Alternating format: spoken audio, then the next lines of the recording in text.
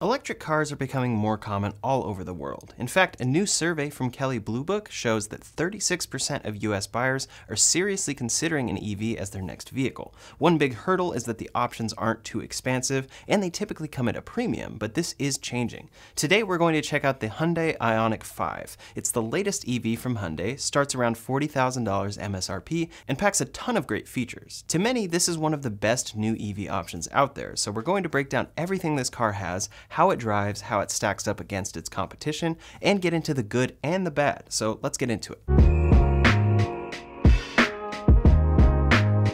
The first thing to notice about the Ioniq 5 is the exterior design. I almost wonder if they decided to repurpose the Ioniq name because they want this car's design to be considered iconic. I think this just might be, at least on the outside. There's no other car on the road that looks quite like it, and every time I see one, I can't help but look. To some, it may be too boxy, but to others, it's the perfect balance of a futuristic box and a functional vehicle. It's a crossover SUV, and it's clearly set to compete with the EVs in this category. Mainly at the time of filming this video, that would be be the Tesla Model Y, and then the Mustang Mach-E, but a few others in this category are starting to be delivered as well. All over this car has design quirks. It's boxy, strange, and very distinctive. I like to think of it as a tame Cybertruck. It's like you took a Cybertruck and they told you to rein it in, make it a Hyundai, and make it a small SUV. There's a particular design flow throughout the whole car as well that's worth pointing out. It's these pixels, or squares, and they're literally everywhere. The most obvious place is the rear light bar, which looks really great. It's made up of a ton of tiny squares squares. The headlights are similar, kind of these rectangular boxes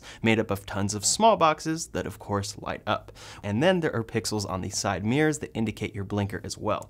On the charge port door there are pixels and when you open the charge port door that will show your charge status using pixels. The door panels have these on certain specs along with the door sills where the Ioniq 5 logo is, although this particular model does not have it there. The front doors have one pixel on them. On the gauge cluster when you shift into sport mode the overall visualization turns turns into pixels. The center of the steering wheel doesn't say Hyundai or Ioniq 5, but just features four of these. Then you can find these on the seats as well. I'm sure I missed some because you really can see them found throughout the whole car, and it's a very fun touch that's emphasizing this car's design. To finish out the general exterior, the wheels have a very distinct look to them. The wheel well has lines that match the wheels and extends that overall design. The lines on the body of this car are irregular and cool. The paint colors offered give it a distinct look, but after that you'll notice that it's a fairly normal and functional car. I'm reviewing the SE Standard Range Ioniq 5, so this is actually the base model. Oftentimes it's actually great to review the base model because we see tons of reviews of the top spec version, and then we want to buy one that we can afford so we end up with way less features. In this case, the Ioniq 5 only gets better than what I'm reviewing, and I'll note all of those differences throughout this video. The Ioniq 5 seats 5, has a hatchback trunk, and even has a very small front trunk. This particular spec doesn't have an automatic trunk, but higher specs do. The trunk space is decent, but not amazing for a crossover SUV. The space in this car is mainly focused on occupants. It's not exceptionally large, but it does have a flat bed to load stuff into. That bed can also be lifted out for a bit more storage underneath, although this isn't really something like an additional understorage compartment.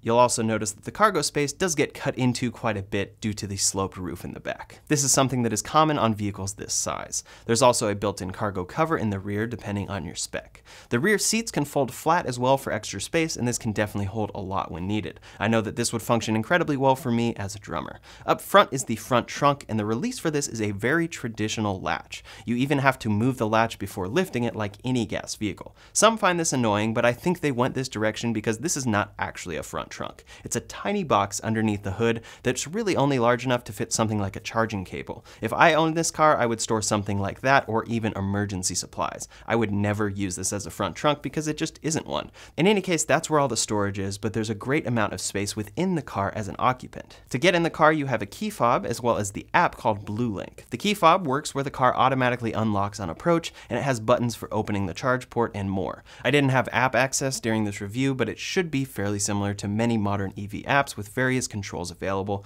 Then comes the interior. To get in, the door handles are similar to other EVs where they sit flush with with the door, but these pop out when unlocked. Inside, to get out, there are normal latches, but interestingly, to close the door, there is just this invisible gap. At first, for multiple people I showed this car to, we actually didn't know where to grab to close the door, but once you get it, it's pretty cool and works well. I will say that behind that handle is a pretty big gap and a place that will probably end up getting gross over time since you can't really get back there, and it's closed off on both ends. It just seems difficult to clean. The front seats are comfortable and have an impressive range of motion. You sit higher in this car than you may expect from videos, and it's a great view of the road. There are automatic controls on the side for seat adjustments, but since this is the base model, the passenger seat has 100% manual controls. In the back, there are three seats, two fairly standard seats and a center smaller one that can also fold down as an armrest and cup holder when needed. I was most impressed with the range of motion on these seats. There are various recline levels, and they recline much further than the Tesla Model Y, and further than many comparable vehicles. This could make it very comfortable for rear passengers on longer drives in the Ioniq 5. Higher specs of this car also feature a glass roof, but here we don't have one. As you're starting to notice, there are a number of downgrades when you go for the base model, and it's part of what is making me lean towards recommending that those buying this car avoid the base model, but more on that in just a minute. The cabin view is simpler than many cars, but also far busier than something like a Tesla Model 3 or Y. It has dual screens lined up in a single line, and each screen is the same size. It's a good look, and the left screen is your gauge cluster, while the right one is for infotainment. To the left of these screens is this pad, and it's a little odd because it looks like a speaker, but apparently it's magnetic. But it's not strong enough to hold a phone or anything, so I don't really know what the purpose of it is.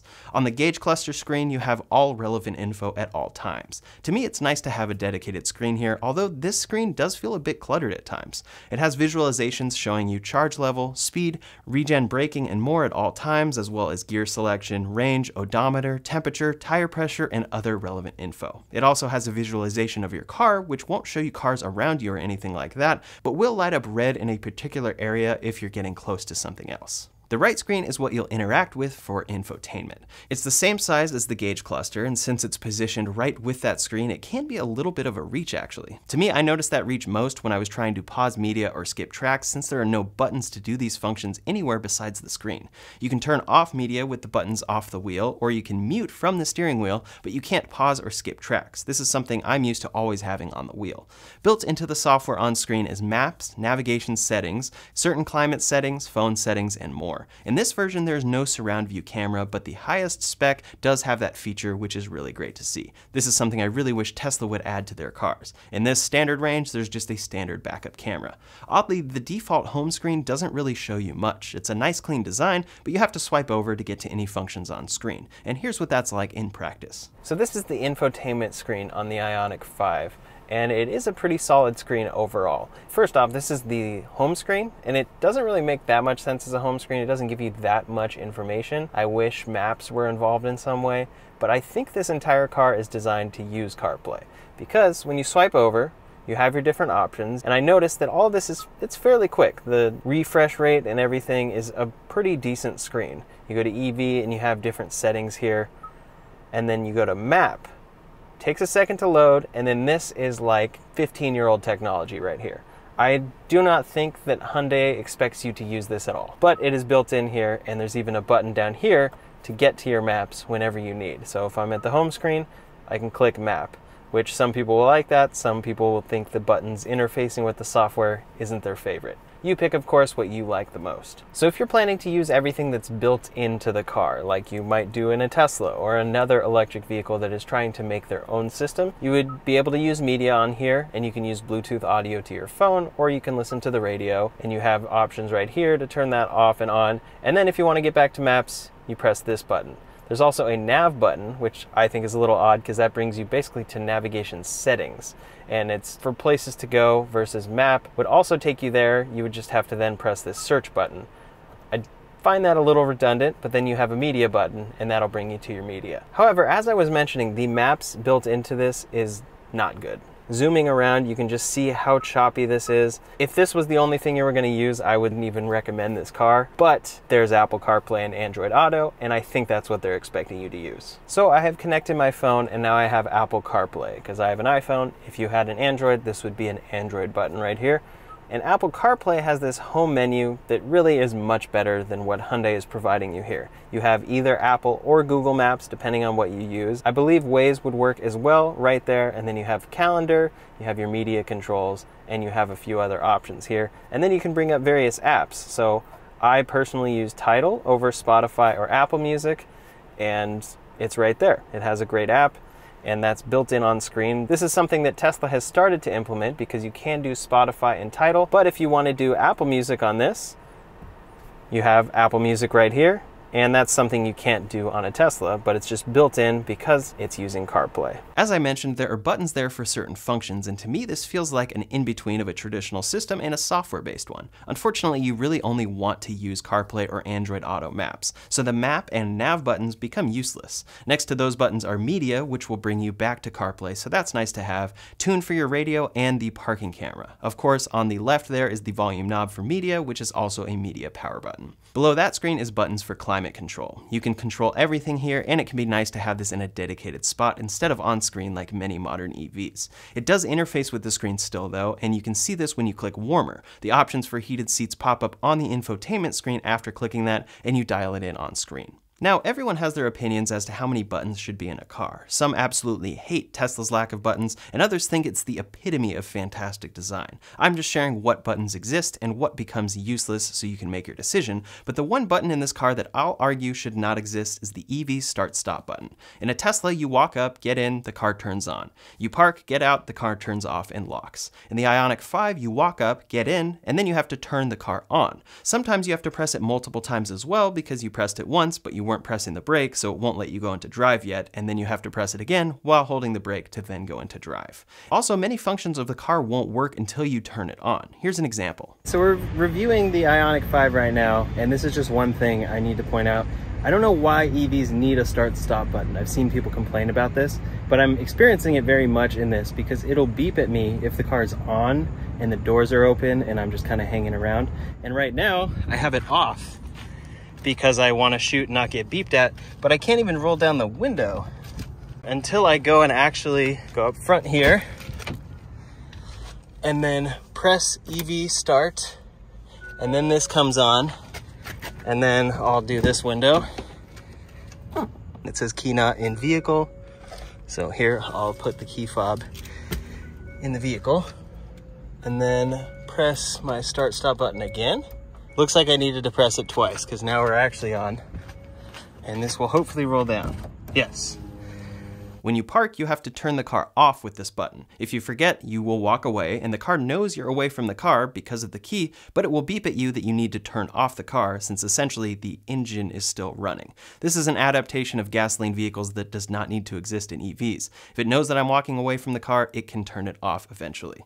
It's just not necessary. I want to see this button removed in future versions of this car, but it's not a huge deal. In any case, the steering wheel, of course, has a number of buttons on and around it. There's a dedicated drive mode button attached to the wheel, buttons for driver assist features, phone call buttons, stocks for headlights and blinkers, a stock for the gear shifter that you twist to go into drive or reverse, and then panels for regen braking levels. In my experience, these panels just switch between full regen or no regen, driving more like a gas vehicle.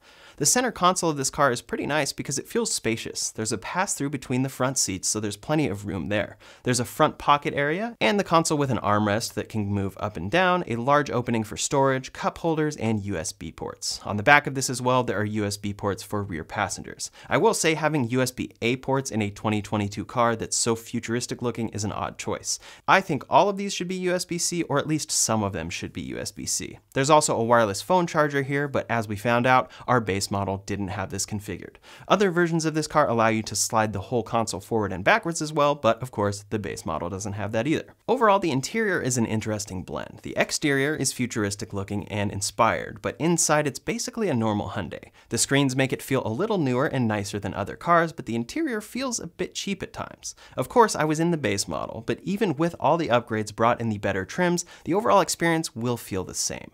Many criticize Teslas for feeling cheap at this price, but this interior truly feels like a $20,000 car. So you're definitely aware that you're paying the extra money because it's electric. It functions well but doesn't feel like a premium vehicle. It gets the job done. I also noticed one small rattle as well that popped up every once in a while. This isn't to say that it's bad and this car should be avoided though. I'm still very much a fan and the best part of it is driving it. That makes it worth the cost. Driving the Ioniq 5 is fantastic. It's exactly what an electric car should be, and Hyundai absolutely nailed it here. Regen braking feels great, and the acceleration is much quicker than I expected on this base model. It's faster than most cars out there and works great in all situations. That instant torque is great, and it's a big part of what many like in EVs. The car is quiet, and it handles very well. The turn radius is also very good. It has what's great about smaller cars while packing a lot of space inside. I also noticed that the ride quality in the Ioniq is far better better than the Model Y or 3 as well. It feels a lot lighter and going over bumps is just not a big deal. In the Model Y, you feel it much more and hear it much more when on a road that's rough. I actually asked my wife if she'd say it's better than the Model Y from a ride quality perspective, and she said something like, oh, way better. It's very comfortable. You sit high in the car, higher than you may expect for its size, and it's a really great experience. Here I am driving it. There are two different driving modes for pedals specifically, and that is your regen braking options. So they call it iPedal on here, and these paddle shifters can turn it on or off. I feel it's a little unnecessary as well, but right now it's off. This is driving more like a gas vehicle where it's kind of coasting for me, versus when I have iPedal on, it's regen braking like I'm used to in most electric vehicles. So for driving modes, there's a button on the steering wheel, and there are three different ones. There's Eco, Normal, and Sport and right now I'm in normal and it's actually pretty zippy. This thing feels a lot faster than I expected after reading the specs online and just knowing that it was generally slower than other cars and it's a bigger SUV shape. As far as how this car drives and handles, I've actually really enjoyed it. My biggest complaints have been things with the interior and things with the software, but as an electric car and the way this drives, it's fantastic. There's not much left to be desired, especially at this price point and what this car is delivering. Now I'm in sport mode and I'm just gonna try out the acceleration. It's been pretty good from what I can tell. Here we go, yeah. That is very impressive, very zippy, much faster than you're gonna be used to in comparable vehicles.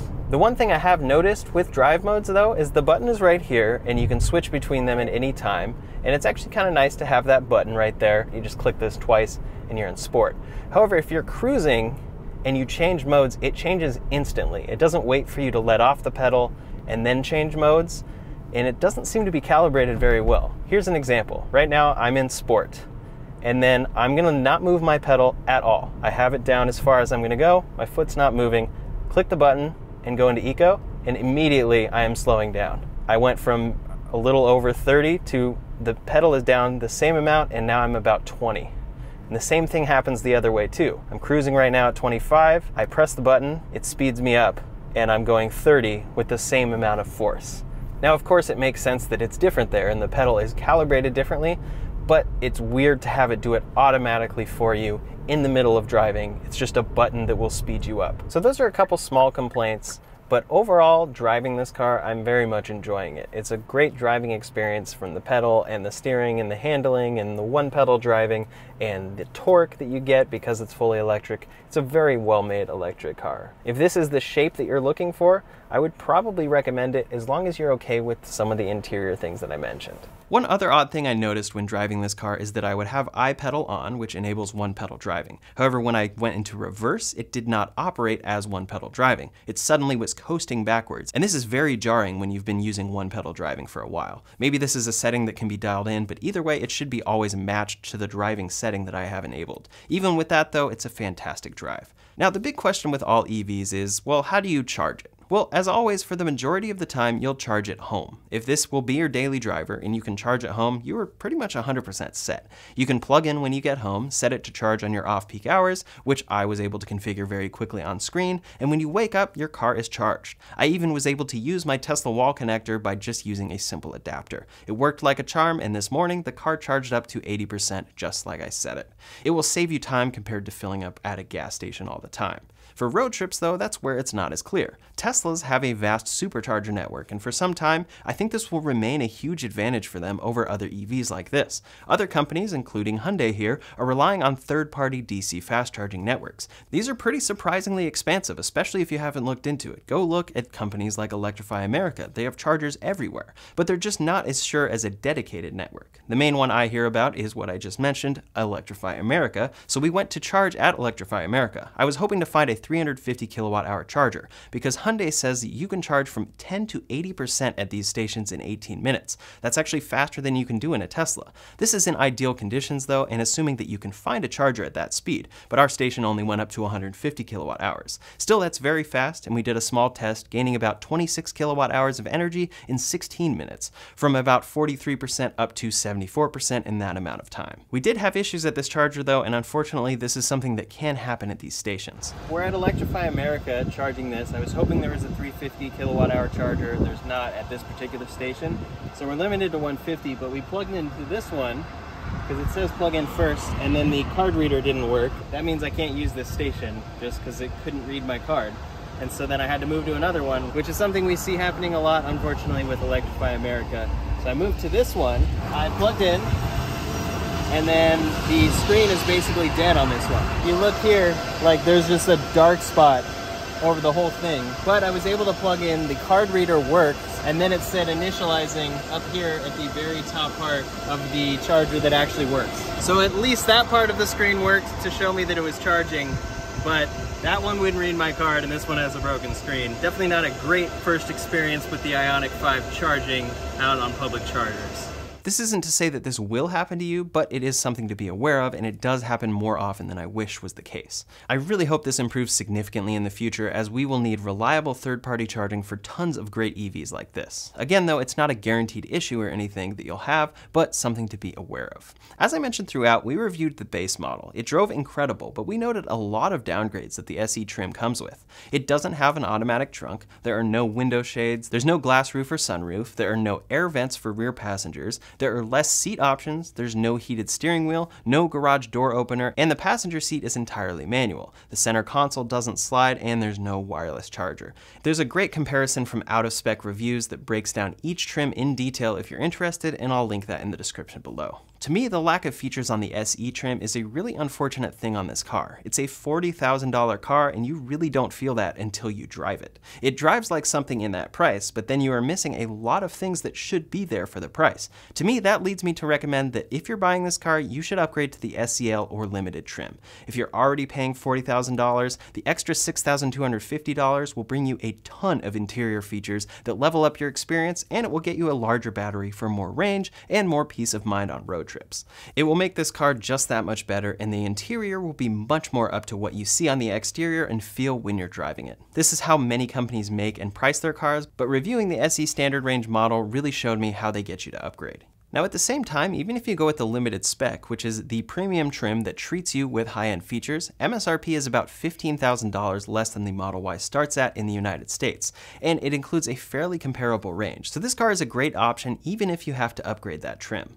Throughout this car there is a lot of good. I highly recommend it to those looking for a great EV and hoping to save a little bit of money compared to a Tesla. If you want solid range, comfortable ride quality, a zippy EV, CarPlay, Android Auto, a comfortable cabin for five, fast charging, more familiarity when coming from a gas vehicle, and a standout modern exterior design, this car may be perfect for you. On the other side of things, if third-party charging is a huge concern for you, you want a completely different modern style vehicle, or you want incredible built-in software instead of relying on CarPlay or Android Auto, it may not be for you.